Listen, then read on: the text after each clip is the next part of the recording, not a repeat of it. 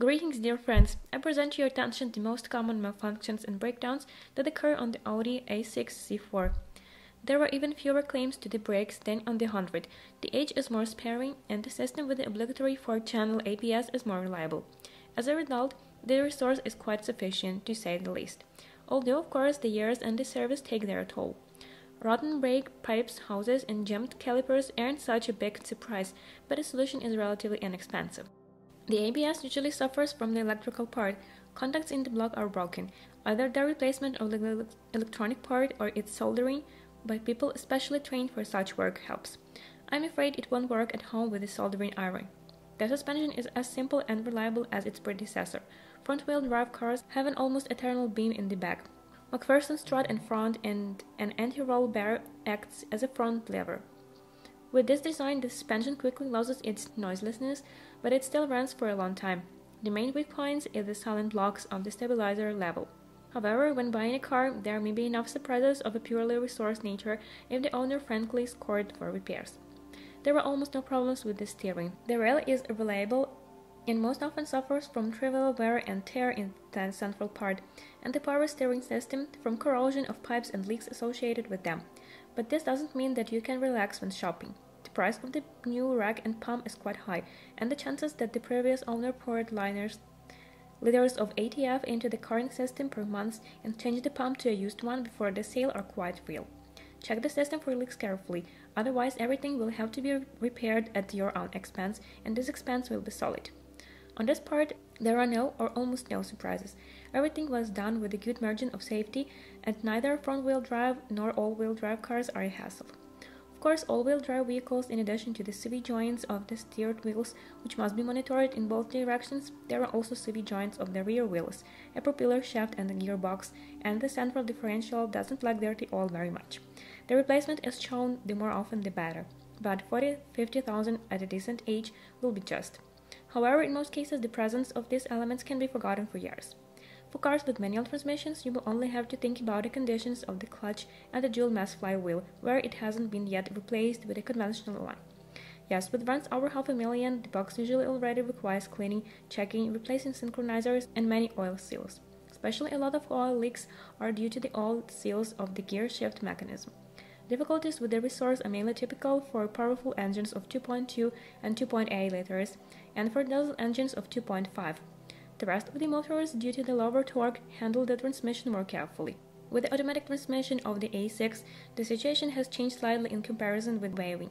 The rather expensive and high quality ZF 4HP18 on front-wheel drive cars was replaced with an automatic transmission of our own design. Automatic transmission 01N by this moment brought to a level where it could withstand the moment even of V6 engines, and in such a situation they try to avoid buying transmissions on the side. The number of cars with ZF gearboxes has dropped significantly. In fact, it remained only with all-wheel drive cars in the Quattro version. But still, this automatic transmission deserves our attention here. Later versions of the ZF 4HP18 are an example of the most reliable transmission with a classic control system based on the governor. Unfortunately, the age and mileage of the cars guarantee high wear of the boxes. Surely, over the past years, someone drove a car, someone didn't change the oil, someone poured the wrong one, the car was overheating, all seals and gaskets were leaking. In general, this mileage was unlikely to come out without repairs, and given their rarity, is not necessary to count on a contract unit. The 4HP18 is where high reliability plays a cruel joke. The box shows amazing survivability, it rides even when there is only enough pressure to turn on the third gear. It tries to soften even hard shocks and holds on to the last without oil. Therefore, they are being thrown in such a way that there is already nothing to repair. Although a good owner who changed the oil every 60,000 by the run of 300 400,000, it would be possible to do with replacing the rubber bands, repairing the oil pump, checking the piston D, and worn out individual clutches. The box is surprisingly easy to repair. If it is still driving, then do not delay with repairs. It will come out inexpensively and most likely the unit will last a long time. Well, if it is already dead, then you can introduce a non-native 5-speed 5HP 19FL, since it was a version without CIN bus. However, they are also slowly becoming a deficit. You will have to look for a weld body and a control board from these automatic transmissions and mechanics from newer boxes.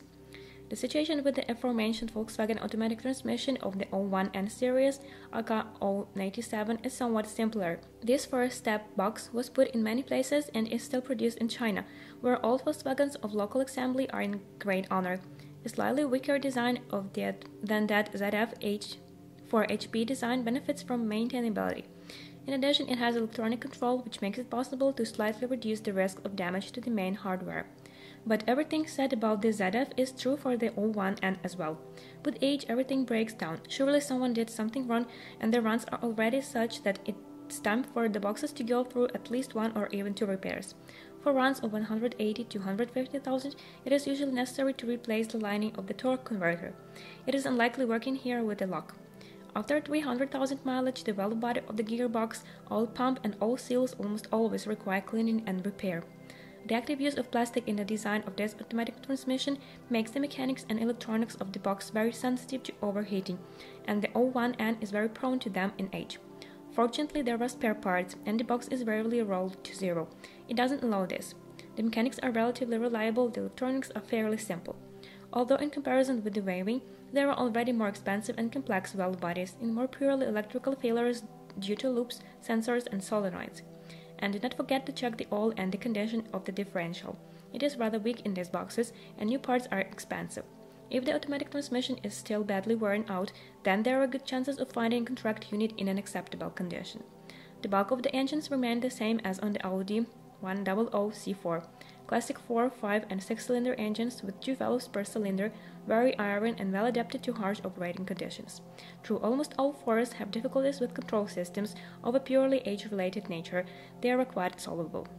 The age of the machines is now such that a lot depends on which elements of the cooling and lubrication system have been replaced. Hoses in plastic require replacement, and the state of the iron of the motors depends on them. Provided proper maintenance, many motors can survive to overtime without major overhauls, but this is unlikely. The runs before replacing the piston group and repairing the cylinder head are usually about 300 400,000, and most of the cars have gone much more. And do not look at the odometers, they wind them regularly and no one knows how many times. Motors with a volume of 2 liters with 8 valves of the AAE and ABK series are deservedly considered simple and very reliable, especially AAE with its mono injection system. The Digifant injection on ABK is somewhat more complicated and often has many worn out elements at a considerable price. The increase in power here is negligible. In any case, it is not enough for a heavy machine. With the 2.3 liter 5 cylinder AAR engine, there was already a Key E3 Getronic injection system and a VEZ ignition system, solutions from the last century. For 10 years, the machines have worked perfectly, but now few people are undertake to diagnose and repair these systems with high quality. There is simply not enough knowledge, knowledge and the original components are expensive. Due to malfunctions in the power supply system, fuel consumption increases radically and dynamics drops.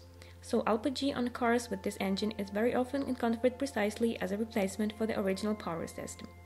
Almost all engines with old control systems have very expensive sensors and difficulties with tuning the native injection systems.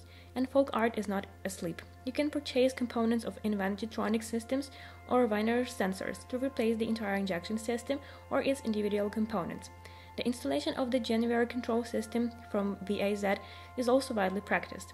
You will laugh, but against the background of the German old school, domestic ECUs turn out to be quite modern and success suitable for installation with the correct settings. However, the best choice for the S A6C4 is the V6 engines of the ABC and AAH series with a volume of 2.6 and 2.8 liters.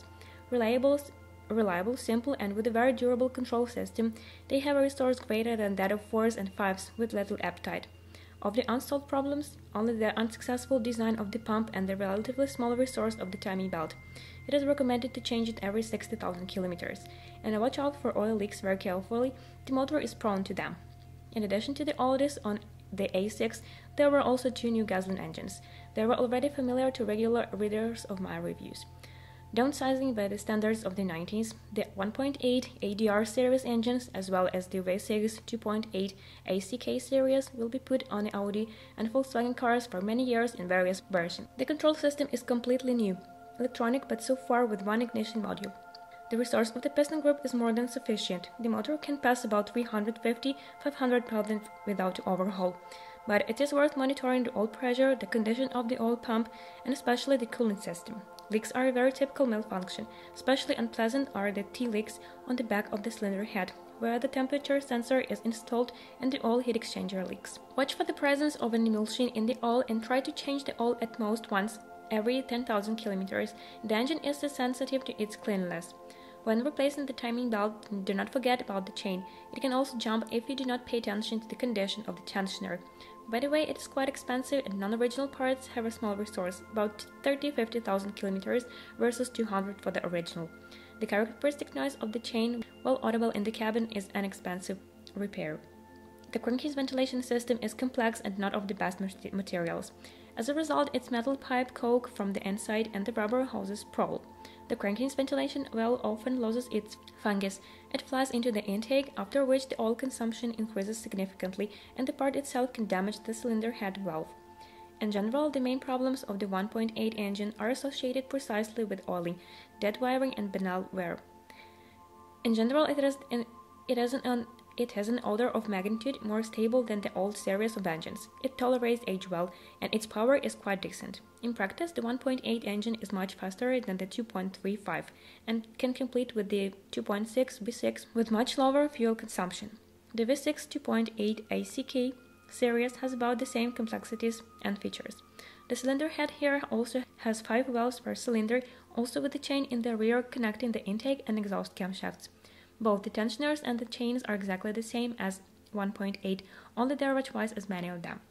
And oil leaks on it are an, an even more serious problem. The ventilation system was not well calculated, and oil from under the plastic well covers easily go into the exhaust system. But in general, this is an excellent motor with a very good resource and power reserve. It is the best fit for a fairly heavy machine. Although in service tab, the new V6 is still noticeably more expensive than the older 6s, significantly surpassing them in efficiency. Of the old diesel engines, of the diesel engines, the appearance of the four-cylinder engines 1.9, 1Z, and AHU, and a new version of the inline 5 2.5 AEL series with a power of 140 horsepower can be noted. Diesel engines of this generation were very successful, although the 90 horsepower engines for the A6 are frankly weak. The resource of such engines is still beyond price, they have fans, but in Russia they are very poorly distributed. On this information about the problems of Audi A64 is exhausted. If you know more or disagree with what you heard, I'm waiting for you in the comments.